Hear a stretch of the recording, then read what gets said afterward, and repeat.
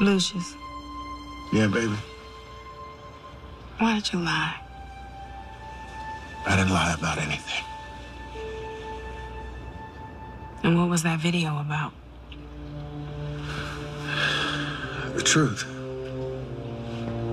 My mother did try and drown me.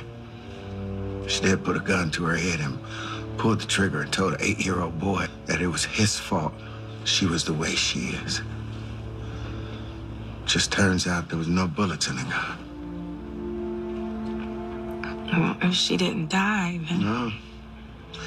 My mother died the day that they locked her up.